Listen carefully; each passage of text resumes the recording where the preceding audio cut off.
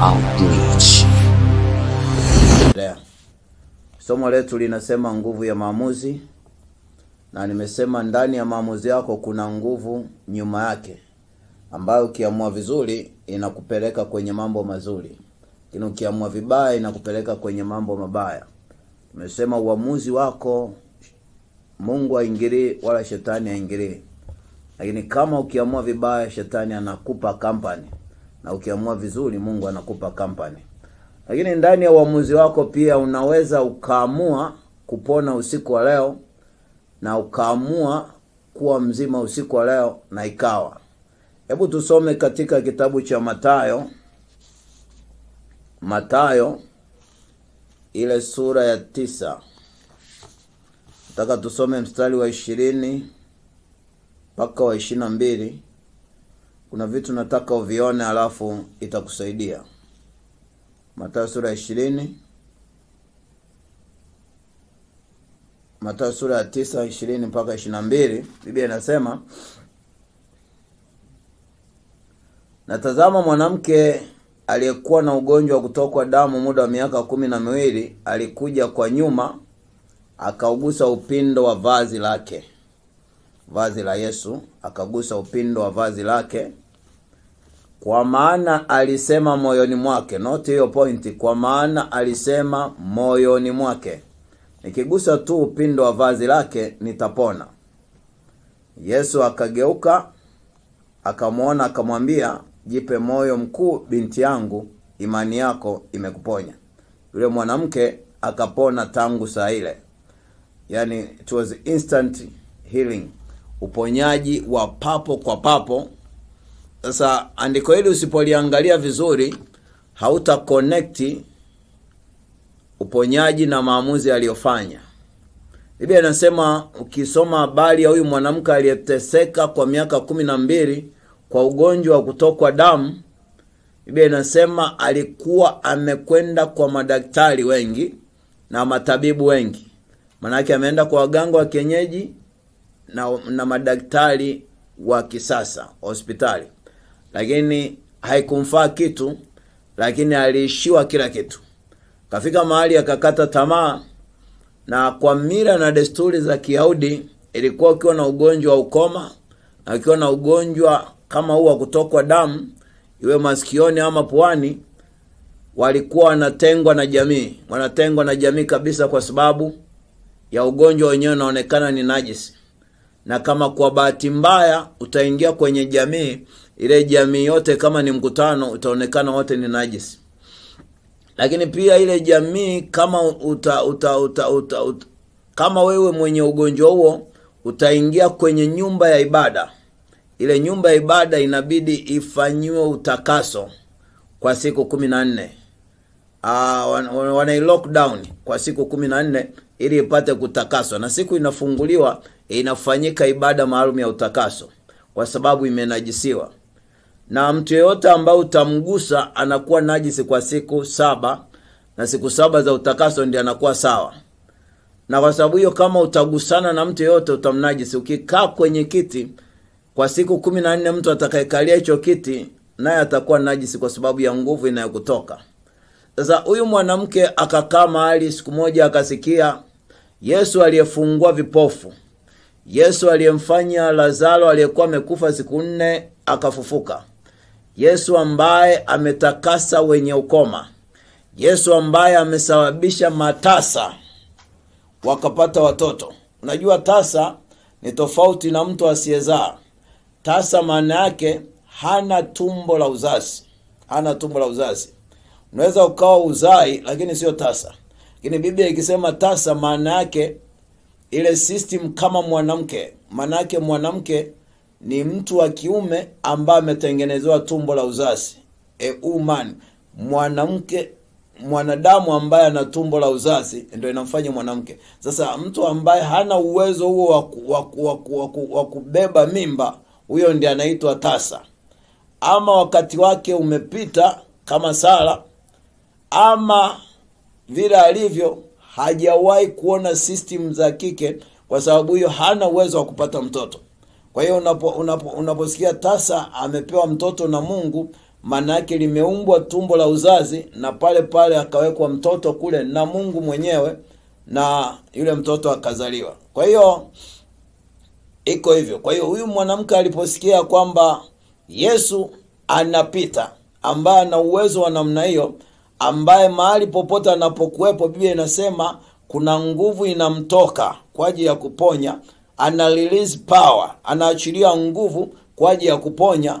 Biblia inasema akajiambia mwenyewe ya kwamba nitapita katikati ya mkutano alafu nitagusa pindo la vazi nitapona. Kwa nini? Kwa sababu alijadili na mawazo yake yani kikao chake cha ndani akafanya maamuzi kwamba kama mimi niliye najisi kwa kutokwa damu nikigusa kiti kinakuwa najisi kwa siku kumi na nne basi yesu aliye mtakatifu akinigusa kwa sababu nguvu ya kwake ni kubwa kuliko nguvu ya kwangu ya unajisi. Kwa hiyo mimi nitapona badala ya kumnajisi yeye. Maanayake nguvu kubwa huwa ina inashinda nguvu ndogo. Yaani presha kubwa inashinda presha ndogo. Bondia mwenye uzito mkubwa anamshinda bondia mwenye uzito mwepesi maana yake nguvu kubwa lazima ipress lazima ishinde ile nguvu ndogo. Ndio maana mabondia wanapima uzito. Sasa huyu mwanamke akajipima yeye nguvu yake ni ndogo ya unajisi lakini yesu ana nguvu kubwa ya uponyaji. Kwa hiyo akasema akajiambia mwenyewe na akafanya maamuzi mwenyewe. Ukisoma bibilia hayo maandiko tumesoma yesu alikuwa tu ameambiwa pale ndani ya mkutano ya kwamba kuna mgonjwa anaelekea kufa, amekufa. Kwa hiyo twende ukamfufue. Kwa hiyo yesu mahindi yake akili zake alikuwa anawaza kwenda kufufua mtu. Alikuwa wazi kama watu wanamgusa. Na actually waliomgusa bila mtazamo huu bila maamuzi ya kutaka kupona haikubadilisha chochote. Lakini sasa huyu anakwenda kumgusa akiwa tayari na maamuzi ya uponyaji wake kwamba nikigusa yani namna ya kupona ameshaamua kwamba ni kwa namna ya kugusa pindo la vazi lakini wakati wa kupona anasema pale tu nikigusa nitapona. Maanake tayari ameweka namna na ameweka muda wa kupona. Yesu angemwambia nitakuponya baadaye maanake angepospondi ule uponyaji wake. Lakini aliamua saa ile alipomuona yesu akasema nikigusa tu nitapona. Sasa hayo ni maamuzi anajiambia mwenyewe yesu hana taarifa. Na kwa sababu ya nguvu iliyoambatana na maamuzi yake alipogusa tu pindo yesu akashangaa kuna nguvu imemtoka. Ndipo ukisoma biblia anatafuta nani kamgusa. Anauliza wanafunzi wanafunzi wanasema mbona watu wengi wanakugusa? Unaulizaje mtu amekugusa? Lakini aligusa kwa nguvu ambayo inaambatana na maamuzi ya kugusa. Unajua mnaweza mkagusana lakini ujaamua kumgusa. Na unaweza ukafanya kosa bila kuamua kufanya kosa. Unaweza usihesabiwe kosa. Unaweza uka, uka uka uka uka uka uka uka ukaushika mpira kwenye eneo la adhabu isiwe penalty kwa sababu hukukusudia kushika. Lakini unaweza ukaushika kwa makusudi kabisa ikawa penalty. Sasa unapomgusa yesu purposely kwa maamuzi ya ndani lazima nguvu itoke ije kwako. Kwa hiyo alipomgusa biblia inasema nguvu ikamtoka ikaja kwake na msiba wake ukakoma pale pale. Yesu anapouliza ndio yule binti akashindwa kujificha akasema ni mimi nimekugusa. Yesu akasema we na amani binti zangu binti yangu nenda kwa amani. Imani yako imekuponya. Taka nikuambia usiku wa leo iko nguvu ya mungu mahali hapa.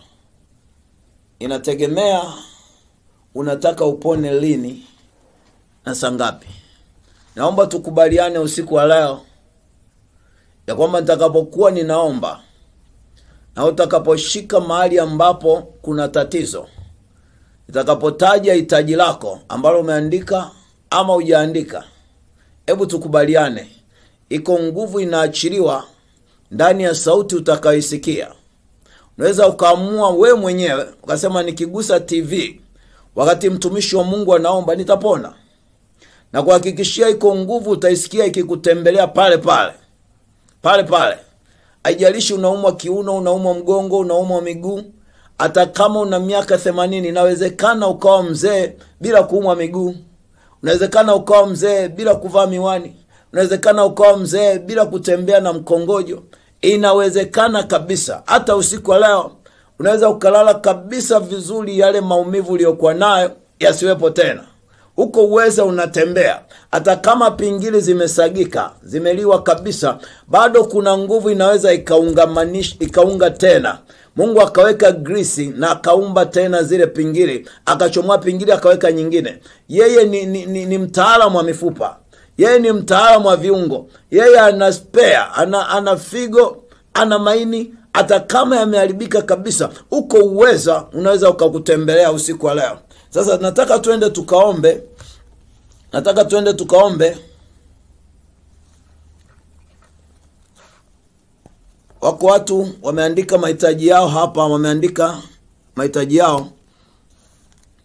Wewe ambaye unahitaji kuokoka tutaomba tena kwa ajili ya wokovu wako na watu wengine ambao wametusikiliza. Tuliomba kwa ajili ya toba lakini glory ambao ulikuwa umeokoka kwa ajili ya mazingira umerudi kufanya kazi ba nataka nikuhakikishie mungu hajamaliza na wewe. Mungu hajamaliza na wewe. Bwana anakwenda kukusaidia anakwenda kukutoa pale.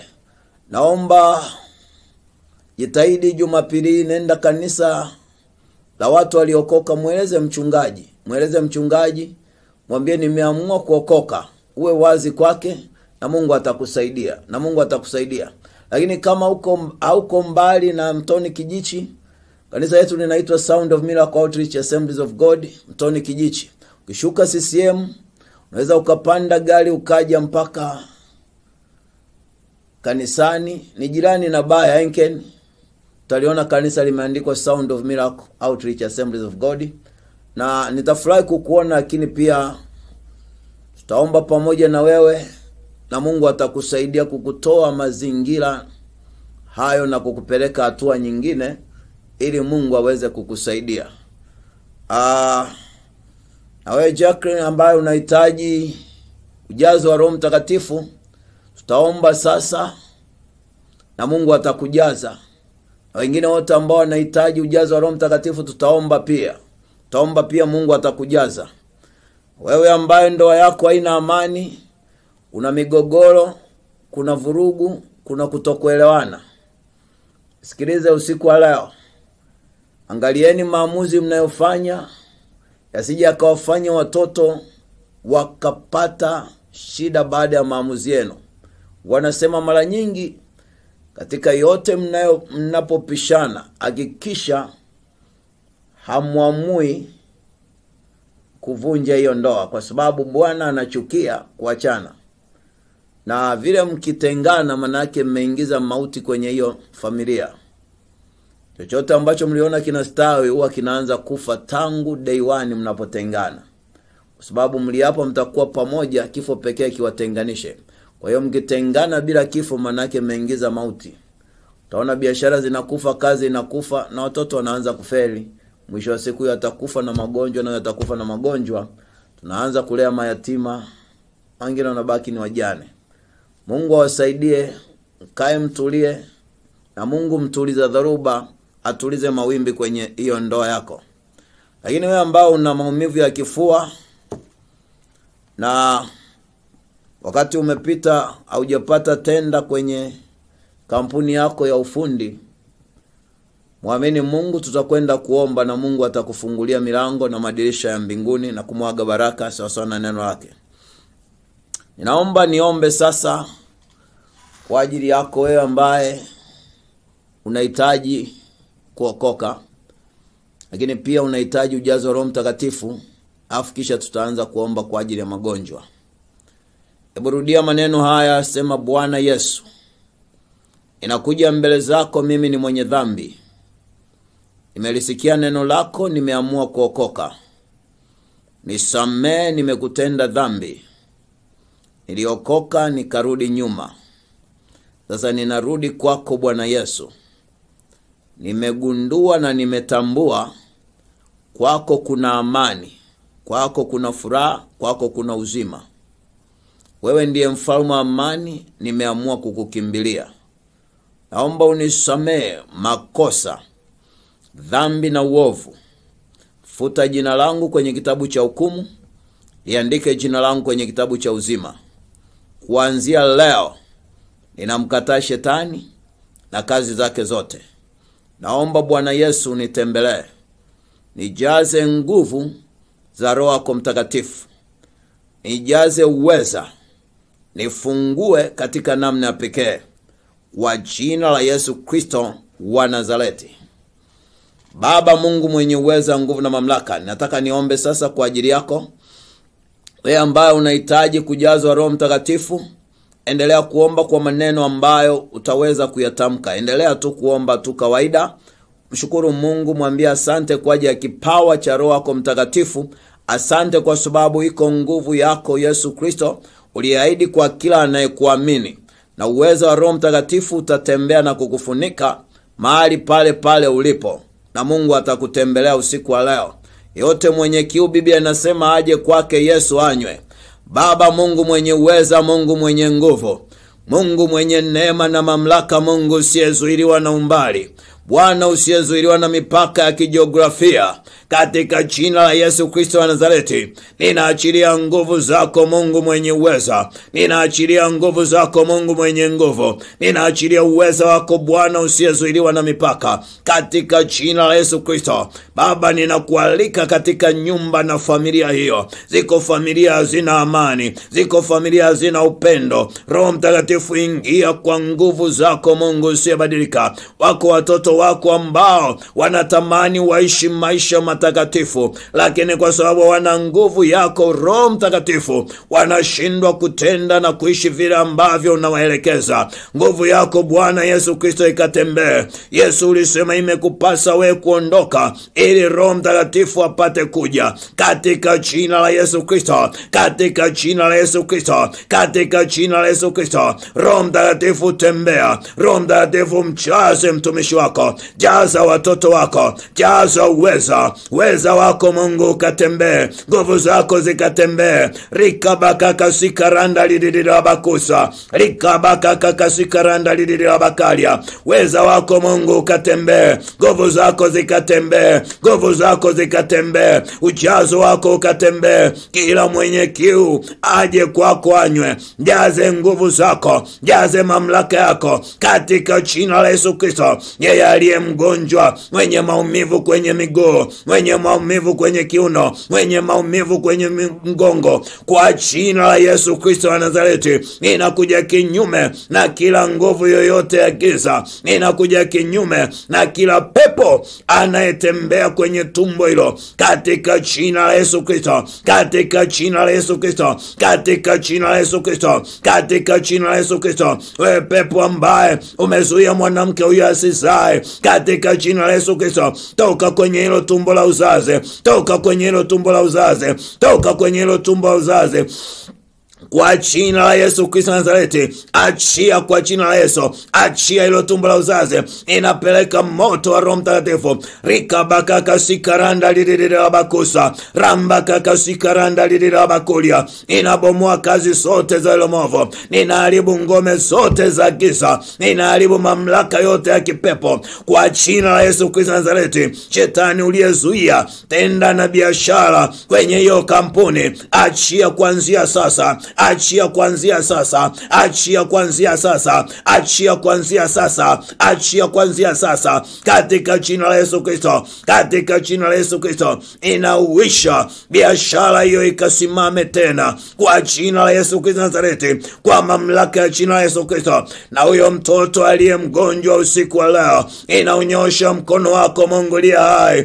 katika jina la Yesu Kristo. Inatamka kwa mamlaka ulionipatia. Katika jina la Yesu Kristo, homa ikamwache, udhaifu ukamwache huyo mtoto. Bwana Yesu, mkumbatie sawasawa na neno lako. Wewe ulisema tuache watoto wadogo waje kwako, wala tusiwazuie. Nami ninatamka uzima, nami ninatamka afya, nami ninatamka kufunguliwa katika jina la Yesu Kristo. Roho Mtakatifu, funika funika nyumba nzima, funika nyumba nzima, funika nyumba nzima katika jina la Yesu Kristo. Roho ya mafarakano mafarakano roho ya mafarakano inaikataa kwenye ndoa na familia hiyo kwa jina la yesu kristo. Mfalme wa amani tawala mfalme wa amani tawala kwa jina la yesu kristo. Ninakataa magonjwa ninakataa mafarakano roho mtakatifu tawala roho mtakatifu tawala roho mtakatifu tawala roho mtakatifu tembea roho mtakatifu tembea. Rudisha roho ya maombi rudisha roho ya kuabudu katika jina la yesu kristo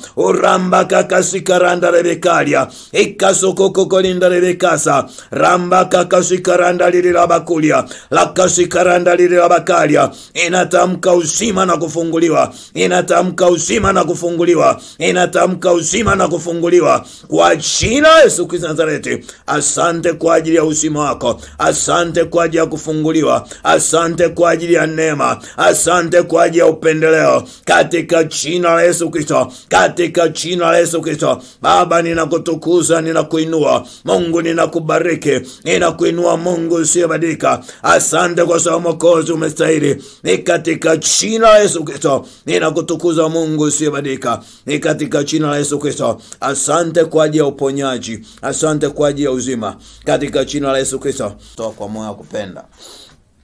Naomba unisikilize sasa. Yako mambo manane au tisa ya kuzingatia kwenye maamuzi unayofanya. Hayo mambo tisa yatakusaidia kwenye maamuzi unayofanya. Jambo la kwanza jambo la kwanza angalia unapofanya maamuzi yako. Usifanye maamuzi ukiwa ndani ya msukumo wa hasira. Wako watu wengi huamua mambo ma, ma, makubwa ndani ya hasira wengi wamejutia.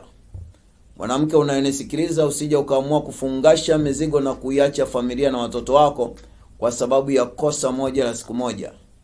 Mwanaume unayenisikiliza hata kama limetokea jambo ambalo limekukasirisha.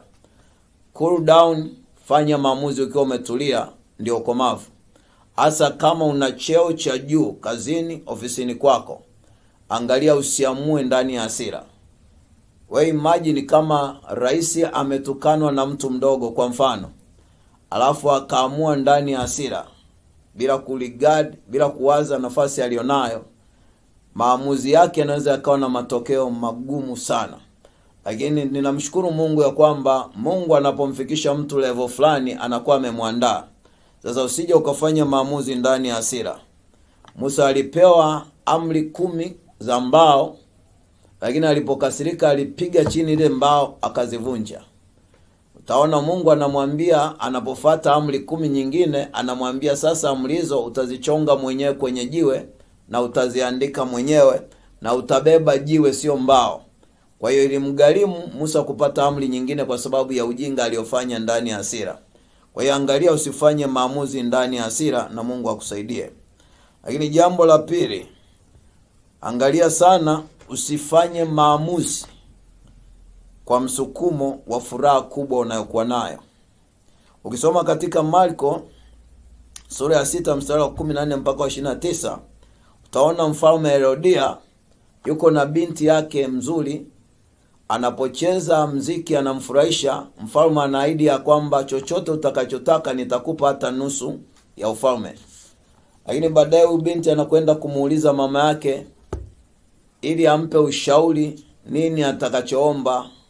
Maana kuna ahadi ndani ya furaha mzee ameamua kwamba atampa chochote hata nusu ya ufalme. Kwa hiyo binti yule anaenda kumwambia mama yake anamwambia nenda ukamdai kichwa cha yohana kwenye sahani. Sasa ukisoma vizuri utagundua kwamba mfalme herode hakutaka kumuua yohana mbatizaji kwa sababu alijua ni mwenye haki. Na kumuua mwenye haki ni kosa ambalo itakugharimu miaka na miaka sasa nisikilize baada ya ushauri ule herode, herode anajuta lakini hana cha kufanya kwa sababu alikwisha kutangaza maamuzi yake ndani ya furaha. Kwa hiyo unapofurahi angalia usifanye maamuzi. Wako watu wanaidi vitu vikubwa ndani ya furaha ni maamuzi ambayo yanaweza yakakugharimu na ukaregret baadaye ninakushauri kama mtumishi wa bwana unapofanya maamuzi makubwa hebu uwe umetulia na uamue katika utulivu. Jambo la tatu angalia usifanye maamuzi kutokana na woga hofu. Unamwogopa mtu unamwogopa shetani. Unaweza ukafanya maamuzi mazuri kwa kumwogopa mungu fear of god kumcha mungu. Lakini uoga mwingine wa shetani na wanadamu kama unamwogopa mwanadamu ukafanya maamuzi hayo maamuzi yanaweza yakakufanya ujute baadaye. Angalia unapofanya maamuzi usiamue kwa sababu unaogopa. Biblia inasema hatukupewa roho ya woga bali roho ya ujasiri. Sasa unaweza ukaamua na baadaye ukagundua umeamua mambo ya kijinga kwa sababu ya uoga. Kwa sababu ya uoga. Wako watu wanaamua kulala ndani kwa sababu wanaogopa kutoka usiku kwenda kufanya kazi. Sasa njaa itakapokuja ndio utagundua uamuzi ule wa uoga ni ujinga umefanya. Ni ujinga umefanya. Na biblia inasema uoga ni dhambi sawa na dhambi nyingine. Ukisoma ufunuo ishiri na moja nane anasema na waoga wote sehemu yao ni kwenye ziwa la moto. Kwa hiyo wezi wazinzi na watenda dhambi wote pamoja na waoga ni dhambi ambazo ziko kwenye grupu moja wote mnawekwa kwenye kapu moja. Kwa hiyo usifanye maamuzi ukiwa ndani ya oga. Lakini jambo jingine la kujiadhari jiadhari usifanye maamuzi kwa chuki. Unamchukia mtu unaamua vile unaamua. Chuki haikai ndani ya moyo muda wote unaweza ukaamua ndani ya chuki ukafanya hicho unachofanya baadaye utakuja kuona maamuzi uliofanya ni ya kijinga. Kwa hiyo ushauri wangu usiku wa leo angalia usifanye maamuzi kutokana na chuki ulionayo. Lakini jambo jingine angalia usiamue kutokana na njaa. Kutokana na njaa. Wako watu wameuza heshima yao kwa sababu ya njaa ama chakula cha siku moja. Siamue kwa sababu unataka kula mlo wa siku moja. Ama hata kama ni wa miaka yote usiamue kwa sababu ya njaa. Aa, kuna msemo anasema mafundi njaa. Maana yake una, una, unaamua kuingia mkataba wa kujenga wa kujenga nyumba ya mtu wakati una njaa. Kwa hiyo unataja bei ndogo ili ukidhi haja ya njaa yako ya muda mchache ama unataja bei kubwa ili umalize njaa yote? Inatakiwa ndani ya njaa usiamue kwa msukumo wa njaa. Biblia inasema esau na yakobo ni watoto wa baba mmoja lakini esau anauza uzaliwa wake wa kwanza kwa chakula cha siku moja lunch. Moja anauza uzaliwa wa kwanza. Sasa wakati yakobo anapewa mbaraka wa mzaliwa wa kwanza esau roho inamuuma na anatafuta kumuua ndugu yake kwa sababu ya ule mbaraka. Sasa utaona mpango wake wa kumuua yakobo haufanikiwi mpaka leo yakobo ndio taifa, ndio israeli ndio amebarikiwa ame, ame, ame, ame, mpaka limekuwepo taifa. Lakini hakuna taifa linaitwa esau. Kwa nini? Kwa sababu baraka ya mungu kwa yakobo ilikuwa halali kabisa kwa sababu aliuza mwenyewe kutokana na njaa yake. Sasa ninachotaka nikueleze ni nini? Usifanye maamuzi kutokana na njaa ulio, ulionayo. Kama ni binti usiuze ubinti wako kwa sababu ya chipsi na mayai. Utakuja kujutia utanunua magonjwa ili kukidhi njaa ya siku moja. Ninakushauri kama mzazi ninakushauri kama mtumishi wa mungu njaa isikufanya ukaamua maamuzi magumu. Jambo jingine usija ukaamua kwa sababu ya tamaa. Unaweza ukatamani fedha ama ukatamani kitu ambacho una uwezo wa kukipata kwa saa hiyo. Angalia usiamue kwa kile unachokitamani. Jifunze kutawala hiyo tamaa yako. Paulo anasema nimejifunza kuwa navyo na nimejifunza kupungukiwa. Maana yake mungu anapokuonyesha kitu ambacho unatamani kukipata na uweze kukipata maanake yuko anakufundisha somo la kukosa ili uweze kujua kuna kukosa na kupata. Lakini jambo jingine angalia usifanye maamuzi kwa sababu ama kutokana na mazoea. Kutokana na mazoea. Kwamba mwaka jana nilifanya hivi na mwaka huu nitafanya hivi. Nisikilize kitu ambacho kimeleta shida kwenye maisha ya watu wengi ni mazoea. Wako watu wamezoea mpaka wanafika mahali wanaharibikiwa. Nisikilize. Musa alipoambiwa na mungu aupige mwamba mara ya kwanza mara ya pili ya kuambiwa upigwe aliambiwa zungumza na mwamba utoe maji safari usiupige. Lakini kwa sababu ya mazoea kwamba nilifanya mwaka jana na mwaka huu nitafanya matokeo yake akuingia kanani sasa wako watumishi wengi ninasikitika kusema wataingia mbinguni kwa sababu anatoa pepo kwa mazoea anaombea wagonjwa kwa mazoea anaimba kwa mazoea. Kwa sababu amesharekodi cd na dvd kwa hiyo ana, anachomeka tu ile dvd na cd wala amuulizi mungu ampake mafuta upya. Sikilize kuna fresh anointing kuna upako mpya kila wakati. Ndio maana kila mwaka tunamwendea mungu kwa upya. Kila ibada tunamwendea mungu siwezi kuhubiri ujumbe wa jana nikaenda nika, nika nao kwa mazoea leo. Lazima mungu anipe fresh anointing. Sasa watu wengi kwa ajili ya mazoea wameharibu ndoa zao. Wamewazoea waume zao wamewazoea wake zao. Kama matokeo wamefanya maamuzi ambayo wamekuja kujutia. Ushauri wangu usiku wa leo usiamue kwa mazoea. Lakini jambo la mwisho usije ukaamua kwa kusikiliza watu kwa kusikiliza watu. Watu wengi wanaweza wakapenda jambo fulani haimaanishi mungu anapenda. Watu wengi wanasema sauti ya wengi ni sauti ya mungu. Mimi nasema hivi sauti ya mungu ni sauti ya mungu na sauti ya watu ni sauti ya watu hata kama ni wengi. Kwa nini?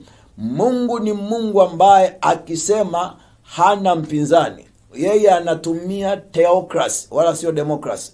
Demokrasi inaweza ika, ika, ikawa imekosea kabisa. Kwa nini? Wakati yesu anataka kusurubiwa alitolewa baraba akatolewa na yesu. Pilato anauliza niwafungulie nani? Wanasema tufungulie baraba awe huru surubishe yesu. Ni sauti ya wengi lakini sauti ya mungu haikuwa hiyo haikuwa hiyo ile ni sauti ya watu. Sasa watu wanaweza wakawa wengi wakasema sasa usiongozwe na influence hiyo. Ndio maana mke wa pilato anamwambia pilato nimeteswa sana usiku wa leo kwa ajili ya mtu huyu. Usiwe na neno juu yake lakini bado akamsurubisha kwa sababu awafurahishe watu. Hata alipokuwa na nawa mikono haikumsaidia kumwondolea hatia ya kuisurumisha damu isiyo na hatia. Mimi nataka nikuambie usiku wa leo maamuzi yako usije ukaamua kwa influence ya watu. Amua kwa influence ya mungu ndani ya neno lake. Yeye akikuambia jambo fanya kwa sababu ya neno lake. Biblia inasema mariamu akawaambia wale watu waliokuwepo kana kwenye ile harusi ya kana ya galilaya muujiza wa kwanza akawambia lolote atakalowaambia yesu fanyeni. Maana yake msikatae kufanyia maamuzi neno la mungu. Neno la mungu ndio likuongoze kwenye maamuzi yote. Hata kama biashara yako iligoma mungu akikuambia kwa neno lako kwa neno lake ya kwamba kwenye bahari hiyo ya galilaya nenda ukashushe nyavu mahali pale pale. Nataka nikuambie peleka nyavu pale pale na mungu atakubariki utauona mkono wa bwana. Biblia inasema aliposhusha petro kwa neno la bwana akashangaa samaki 153 katika ziwa lile lile ambalo alikosa hata samaki mmoja. Kwa hiyo nataka nikuambia kwamba kwa neno la mungu fanya maamuzi yoyote hata kama una riski kwa sababu ni mungu amesema utakuwa salama. Biblia inasema yesu akawaingiza wanafunzi wake chomboni akawambia mvuke mpaka ng'ambo. Lakini walipokuwa katika safari ile chombo kikapigwa na maji hali ikawa ngumu kabisa. Wamekata tamaa ya kuishi. Lakini biblia inasema bado mungu bado mungu yesu kristo akaja akitembea juu ya maji yale yale ambayo anataka kuwaua na uh, alipokaribia wakawa na mashaka kama ni yeye ama si yeye. Petro anasema kama ni wewe yesu niamuru kwa neno lako nije juu ya maji kama wewe. Yesu akasema njoo.